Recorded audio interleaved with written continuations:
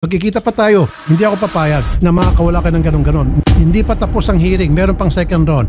Sabi ika nga nila, mahirap ang maging isang mahirap. Tandaan mo yan dahil minsan na pagkakaitan tayo ng tamang proseso at hustisya. Kaya ang iba ay dumidiretso na lang para magsumbong kay Senator Rapi Tulfo. Kaya naman panoorin mo ang video na ito kung paano nag-init ang ulo ni Senador Idol Rapi Tulfo sa ibang mga abusadong pulis na pumapasok na lang bigla sa loob ng bahay ng mga mahihirap ng mga Pilipino kahit wala silang maipakita na search warrant o warrant of arrest. Wala naman ho kayong papel eh. Asan ang papel nyo? Manghuhuli kayo. Oh, pumasok pa sa loob ng bahay yan. Ayan. may pumasok po sa compound po namin. Bali, sabi po nila is mga pulis daw po sila. Hot pursuit daw po. Nanutok daw po ng baril yung kapatid ko after hearing daw po. Wala silang warrant or search warrant. Itong mga pulis na ito, winawalang hiya nila pag mahirap. Pag mayaman, di nila kaya. Sa pagpasok nila sa limang bahay na uncertain sila, eh walang reason para pasukin nila. Imbestigahan po natin. Pupunta po kami sa inyong tanggapan. General, samahan po namin itong mga complainant para ma-identify po yung mga pulis na inireklamo ng tagig. Salamat po, General.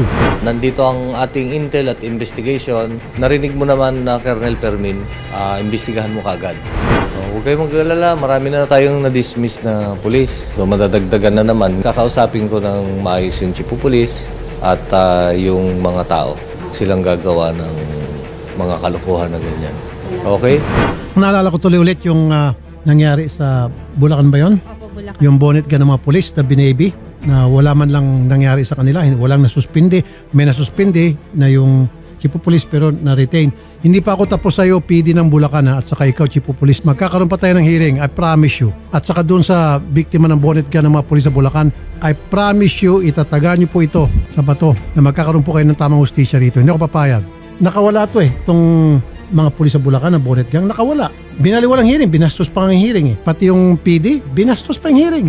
Saksakan na sinungaling. May second round tayo, tingnan natin hanggang saan kayo. Hindi ko bibitiwan to, I'll take it personally. Why? Because for me, it's personal na lumapit sa akin yung mga tao na aping-api na nakita ko naman talaga there was injustice. Pagkatapos, yung naapi, nakulong pa.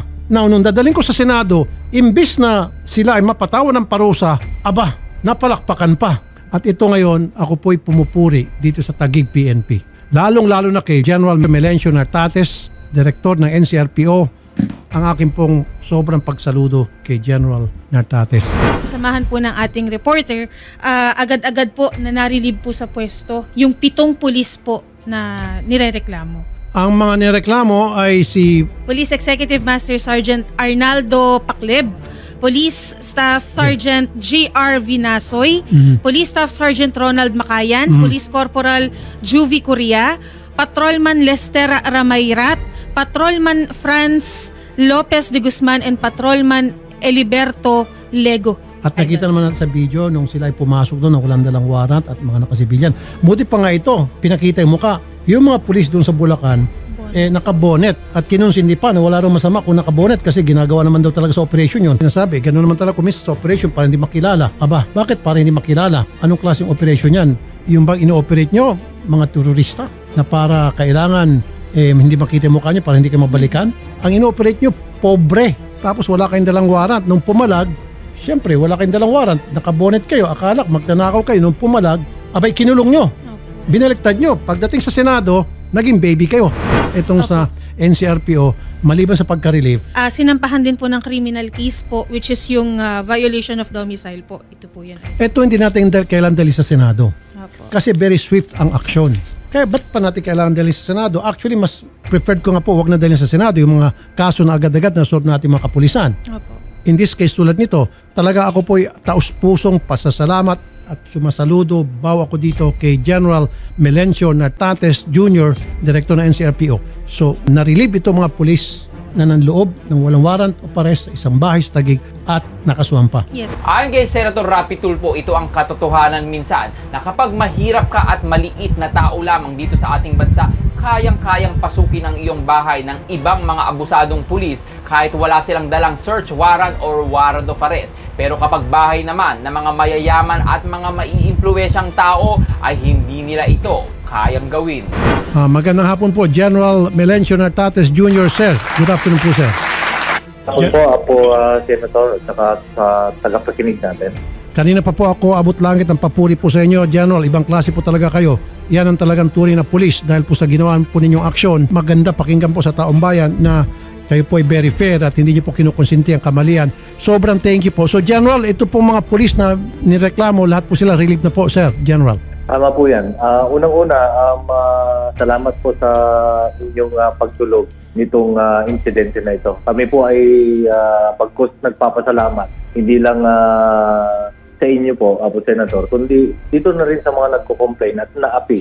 Ah, ah, actually, ang una kong ah, statement po doon is ah, nung tayo una nagka, nagka-usap, ang sabi ko ay iimbestigahan po natin ng ah, maayos. Opo, sir. Kaya hindi po ako padalos-dalos. Kaya inimbestigahan po natin ng maayos at ah, nakita natin na ang una po ay ah, dalawa yung na-identify hanggang ah, dumulog na rin yung ah, ibang complainant. Kaya pito po yung na-identify and ah, ayon sa ating pagkasasalistik at sa salaysayan reklamo na rin ng ating mga complainant ay meron pong ah, basis para ito ay idulog at para maimbestigahan ng ah, prosecutor at uh, naipila na rin natin. At Thank the you. same time, ah, na-relieve na po sila, ah, nilagay natin sila sa ah, ibang pwesto or ah, floating status na hindi sila makaka-apekto dun sa ah, kaso. At the same time, meron na rin pong ah, undergoing na rin po ang pre-charge investigation para sa, para sa kaukulan na administrative case. Ayun, so administrative case. Okay. Ah, nagustuhan ko po yung sinabi niyo, sir, na gumawa kayo ng thorough investigation after na ma-receive niyo yung complaint and then yung result investigation lumitaw na talagang ka- karapat-dapat na marilib mga ito at kasuhan. So, f- for that, another saludo po ako sa inyo, General, sir. Thank you very much po, General. Salamat. So, yun po yung admin case na isasampa sa kanila. Pero pwede pa rin po sila siguro sampahan ng criminal case kung gugustuhin po ng mga complainant. Kung halimbawa po sa tingin nila karapat-dapat sampan to mga polis ng criminal case. Sir, General. At tama po yan. Nauna pong naidulog natin or naipila natin yung criminal case and then relieved and then uh, they are now uh, facing administrative uh, investigation or cases. Ah, so meron na rin po daw pala kayong final na criminal case against these policemen, General. Tama po yan. Una, dalawa. Kasi dalawa pa lang. Kasi ang uh, ating complainant ay uh, yung dalawa po ang uh, nagbigay ng salaysay. At uh, may sumunod pa rin pong uh, nagbigay ng kanilang sa ng salaysay yung kapatid po ata yung lumabas dun sa sa korte yung insidente na yun hanggang hanggang dumating dun sa compound. Kaya pito pito po ang identify at napilahan ng criminal case. Thank you po. Thank you so much, General. Ma'am Rosel, Hello po. Apo. ano pong reaksyon niyo po dito sa naging ah, napakaganda pong resulta sa ginawang investigasyon po ng NCRPO sa pamagitan po ni General Nartates Jr., Ma'am? Ah, Senator, sobra po kaming nagpapasalamat sa mabilisang aksyon nyo po. Una po, natatakot po talaga kami na dumulong po or magreklamo pero hindi po kasi sila titigil hanggat hindi po kami magsasampa ng reklamo. At sobra po kaming nagpapasalamat po sa inyo, lalong-lalo na po sa tanggapan nyo po, Thank you po. Senator. Maraming maraming salamat po General Nartates sa sobrang bilis po na aksyon sa kaso po namin at mabilis po na pag-iimbestiga po. Ah, binabalik ko yung pasasalamat sa Apo Senator sa ating ah, complainant at nagdulog ng ah, complaint na ito. Kami ay uh, pagkus nagpapasalamat sa kanila. At ah, nais ko lang iparating din na ito ay simula pa lang. Sana po ay mo makamit natin yung hostisya. General, this is from my heart. Ano po, walang bulahan. Sana po one of these days kayo po yung maging chief PNP. Yan lang po yung hangarin ko. Salamat po, General Nartates, sir. Thank you po, General. Salamat din po. Magandang hapon po. So solved na, Ma'am Rosel, kapag kayo po ay nakaranas ng pananakot, pangaras o pangamba for whatever reason at any time, agad-agad tawagin niyo po General Natatis. We will give you the personal cellphone number niya, of course with his permission, para kung sakali dumating yung sana wag, tawagin niyo agad si General Natatis. Napakabilis umaksyon po nito si General Natatis. Opo. Okay? Maraming maraming salamat po, Senator. Kami po ng pamilya ko ay lubos po na nagpapasalamat po sa inyo. At hindi po kami bibitaw hanggat hindi po nasisibak sa pwesto kung ano po po yung narapat na parusa dito sa mga pulis. Kina Executive Master Sergeant Arnaldo Pacleb, Staff Sergeant J.R. Vinasoy, si Staff Sergeant Ronald Makayan, Corporal Juvie Curia, Patrolman Lester Ramayrat, Patrolman Franz Lopez de Guzman at Patrolman Elibert Lego. Sige po, ah, pati dun sa kasong kriminal, tututok po kami, hindi kami bibitaw hanggat sa hindi kayo makakuha ng tamang hustisya. Salamat po sa inyo, ma'am. Salamat po. Maraming salamat po, Senator. Thank you po. Marami na ako narinig ng mga ganda about General Nartates. Napakagaling to na General. I don't know him personally. In fact, uh, pangalawang beses ko lang ito siya nakausap over the phone. I don't know him personally, pero ang dami ko narinig ng mga gandang uh, good words being put up by different people who works for him, used to work for him, na napakagaling daw at napakabait, napaka-fair, napakapatas daw. Kaya General Nartates, saludo ako. At inuulit-ulit ko, yung PD sa Bulacan, kasama yung kernel na chief of police, na yung sa bonnet gang, na nagkonsintihan, nagsabwatan para makawala yung kanyang mga tauhan. Marami pa tayong time. Anyway, hanggang 2028 pa naman ako dyan sa Senado. At pwede pa ako ma-reelect. Hanggang 2034 pa ako dyan sa Senado. Uubusin ko yung oras na yan, yung panahon na yan, hanggat hindi kayo na napaparusuan, kayo dyan sa bonnet gang. Ikaw bonnet gang, ikaw yung PD, at ikaw yung chief of police. Titingnan ko yung track career mo, ninyong dalawa. Sisiguraduhin ko yan. Siyempre, of course, sa lahat ng legal na paraan. Ang asa akin lang, mabigyan ng hustisya itong mga maliit nating kababayan kasi napakasakit eh, di ba? Pinasok mo na wala kang warrant, nakabonet ka, siyempre, papalag yung pinasok na bahay, nagtulakan, kinulong, yung nagtulak, yung tatay. Itong si anak na sumunod lang para tingnan kung nasa tamang kalagayan yung kanyang tatay, aba, kinulong, din. So, it's his, their word against the word of this mag-ama. Di nagkahamunan ng lie detector test. Umuha pareho. Yung una, ah, nag-aalangan yung pulis. Sabi, kailangan doon ng counsel. Binigyan ng counsel, nandun yung counsel nila. Sabi nila, sige, magpapalay detector test na kami. Last minute, umatras. O di ba panluloko yon? Tapos ngayon, itong dalawa na biktima, palay detector test, nakapasa, di ba? Pangisi-ngisi, paglabas ng Senado, nakangisi sila. Tandaan nyo to ha, kayo, ikaw, PD ng Bulacan. Kung Sinti Pamor, hanggat hindi nakakuha ng hustisya itong mga pobre nating kababayan, hindi ako papayag.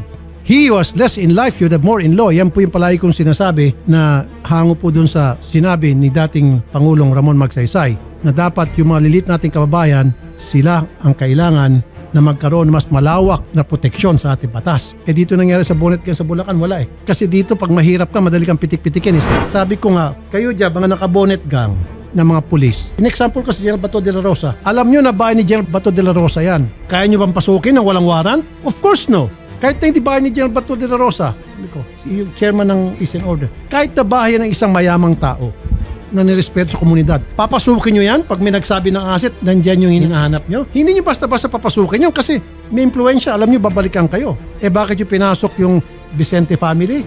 Kasi alam nyo, mahirap. Pag mahirap, alam nyo na kaya-kaya nyo, hindi nyo kayang labanan. That's the injustice being done. It, it's happening in different parts of the country, unfortunately. And ngayon, yung respeto ko sa mga pulis, bumalik talaga because of General Nartates. Yan ang sinasabi ko, wag po natin nila lahat. Kasi po ang dami ko mga kaibigan na pulis, although hindi ko yung kaibigan yung iba, ah, yung respeto ko sa mga pulis hindi pa rin nawawala dahil hindi naman po lahat. Sabihin ko siguro baka wala pang 1% kasi ilan ba 100,000, 1,000, wala pa siguro. Kaya lang itong 1%, ipag gumawa ng kalokohan, kinukonsinti, ayun, nagkakasabog-sabog. Tulad nangyari dyan sa Bulacan. Colonel Rayleigh Arnedo, magkikita pa tayo. Hindi ako papayag na makakawala kayo ng ganon-ganon. Nang api kayo, tapos ngayon, pagkatapos ng hearing, pangising-isi palabas ng Senado, na very clear naman talaga nagkamali itong mga bata mo. Wala eh. Wala nang kasuhan. Only in the Philippines. Ikaw ay nang api, pumasok ka, gumawa ka ng illegal violation, pagkatapos mo pasukin yung bahay na wala kang warrant at nagkaroon ng tulakan, ikinulong mo pa. Tapos ngayon, binaliktad mo pa.